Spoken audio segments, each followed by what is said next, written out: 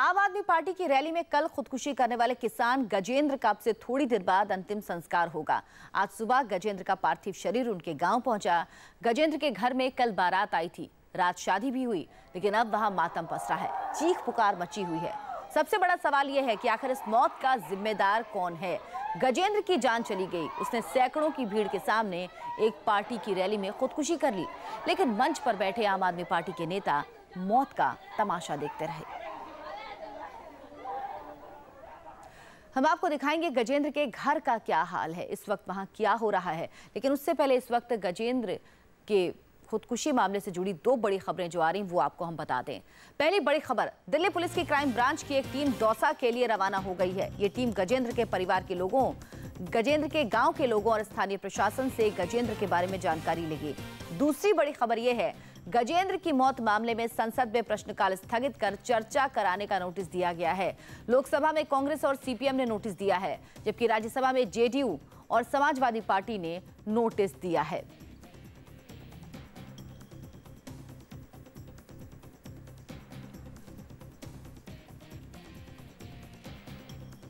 हमारे साथ वरिष्ठ पत्रकार रामकृपाल सिंह इस वक्त स्टूडियो में मौजूद हैं। साथ ही साथ गजेंद्र के गाँव दौसा से हमारे संवाददाता मनीष प्रसाद भी हमारे साथ जुड़े हुए हैं। मनीष, सुबह पहुँच चुका है, गजेंद्र का पार्थिव शरीर उनके घर। उनका अंतिम संस्कार कब किया जाएगा?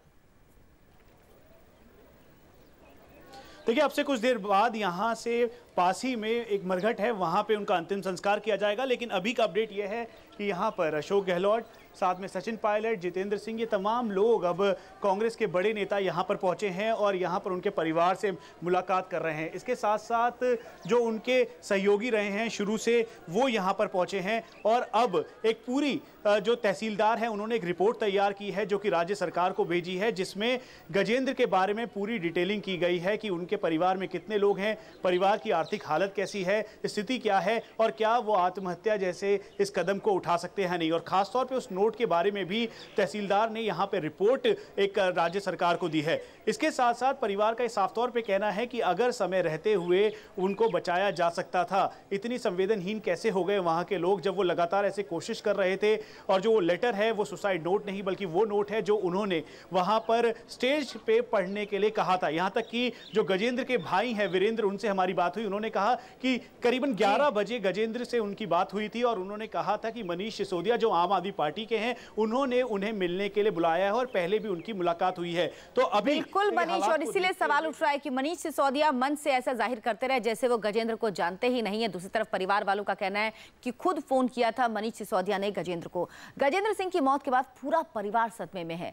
परिवार इस घटना के लिए आम आदमी पार्टी को जिम्मेदार ठहरा रहा है। इंडिया टीवी संवाददाता मनीष प्रसाद से बात करते हुए गजेंद्र सिंह के चचेरे भाई विजेंद्र सिंह ने कहा कि मनीष सिसोदिया के कहने पर ही वो रैली में शामिल हुआ था। तो आप तस्वीर देख रहे हैं, तमाम नेता पहुँचे सचिन पायलट पहुँचे हैं, अशोक गहलोत पहुँचे हैं। अब से कुछ ही देर बाद गजेंद्र का अंतिम संस्कार किया जाएगा। उनका पार्थिव शरीर उनके गाँव हालाँकि रात में पहुँच गया था, लेकिन उनके घर आज सुबह पहुँचा है। कल उनकी भतीजियों की शादी थी। आज सुबह सुबह तड़के विदाई हुई, उसके बाद अब अंतिम संस्कार गजेंद्र के पार्थिव शरीर का किया जाएगा। इस अंतिम संस्कार में शामिल होने के लिए नेता भी पहुँच रहे हैं लेकिन सवाल यह है कि कल जब इस भरी भीड़ के बीच में गजेंद्र ने यह कदम उठाया तो उसे किसी ने क्यों नहीं रोका?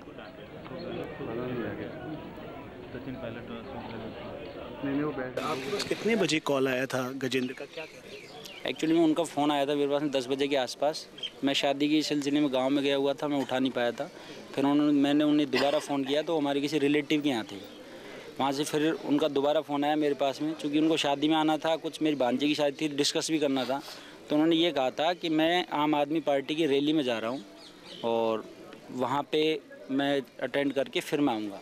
मैंने कहा, किसने बुलाया? बोल, मनीष जी ने बुलाया मुझे और मैं वहीं जाऊँगा। वो उन्हीं से परिचित थे। जहाँ तक जानकारी, सिर्फ़ मनीष जी ही जानते थे उनको और वो मनीष जी को जानते थे और इसीलिए वो गए होंगे, पहले भी गए थे उनसे मिलने के लिए। और कह भी यही रहे थे, मनीष जी ने मुझे बुलाया बाकी ज़्यादा जानकारी तो वो कोई दे सकते हैं। फ़ोन आया था एक बजे के करीब। किसी इस तरीके से उन्होंने सुसाइड अटैम्प्ट किया है। एल और आरएमएल में वो एडमिट है। आप लोग आ जाइए। फिर हमने हमारे परिचित लोग थे, उनको वहाँ भेजा। उसके बाद फिर हम यहाँ से सभी, जैसी स्थिति में थे, वैसे हम यहाँ से चल दिए। और रामकृपाल सिंह इस वक्त हमारे साथ है, वरिष्ठ पत्रकार। रामकृपाल जी, कल आपने जो मंच से कह रहे थे मनीष सिसोदिया, वो आपने सुना, देखा। वो ऐसा ज़ाहिर कर रहे थे कि वो गजेंद्र को बिल्कुल नहीं जानते हैं। लेकिन परिवार के लोग, जानने वाले रिश्तेदार ये कह रहे हैं कि मनीष सिसोदिया ने खुद फ़ोन किया था और परिचित थे। तो आखिर ये है क्या? ये बातें क्या आप कुछ समझ पा रहे हैं? देखिए, कल जो घटना हुई है, वाकई वो वो घटना इतने अंदर तक झोड़ती है सबको। सवाल इस बात का नहीं है कि मनीष जी ने उसको बुलाया था या नहीं बुलाया था। सवाल इस बात का भी नहीं है कि वो किसी पार्टी से रिलेटेड था या नहीं था। सवाल है कि वो एक इंसान था और सबके सामने, हज़ारों लोगों के सामने वो पेड़ पे चढ़ा और फंदा लगा करके वो मर गया। अब तरह तरह के तर्क दिए जा रहे हैं और दुखद ये है कि उसके बाद किसी बड़े नेता ने आप पार्टी के एक व्हाट्सएप पे एक पिक्चर भेजी है, कई लोगों को मुझे कल किसी ने दिखाया, उसमें लिखा है कि देखिए, ये वो आदमी है जो राजनाथ सिंह को पगड़ी पहना रहा है। मुझे लगा कि अगर वाकई जो घटना हुई उस पर तकलीफ़ होती लोगों को तो बाद में इस तरह की हरकतें नहीं होती। अब आपने जो सवाल उठाया है, कल देखिए, मैं किसी, इसको राजनीति से नहीं जोड़ रहा हूँ, लेकिन एक बात तय हो गई है कि वो क्यों गया था वहाँ? वो इस देश में जिस तरह से किसान पीड़ित हैं उनका दर्द लेकर के वो गया था।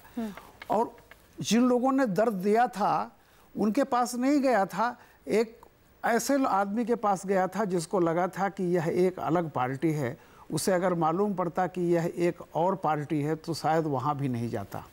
जी। ईमानदारी की बातें हैं और वो जैसे आप बता रहे हैं जैसे तथ्य सामने आ रहे हैं वो मरना नहीं चाहता था। वो इस उम्मीद में गया था ऊपर चढ़ा भी था कि कम से कम ये लोग जो संवेदनशील होने की आम आदमी की बात करते हैं मुझे ऐसा नहीं वो करने देंगे। इस उम्मीद में वो ऊपर चढ़ा हुआ था लेकिन उसे नहीं पता था एक नए तरह की राजनीति जो है उसका इतना बीभत्स चेहरा होगा इसका अंदाज़ा उसे नहीं था इसीलिए वो मर गया। और रामकृपाल जी, सबसे बड़ी बात यह भी है कि उसकी मौत के बाद भी उस पर राजनीति की जा रही है। उस पर अलग अलग तरह के बयान दिए जा रहे हैं। कल कई बयान तो ऐसे हैं जिन्हें सुनकर वाकई शर्म आती है कि क्या हम नेता या कुछ और बात में, क्या वाकई हम इंसान भी रह गए हैं जो इस तरीके के बयान किसी की मौत के बाद भी दे सकते हैं, खासतौर पर वो लोग जो उस जगह पर उस वक्त मौजूद थे। क्या गजेंद्र की मौत के पीछे किसी की साजिश थी, ये भी आपको बताएँगे।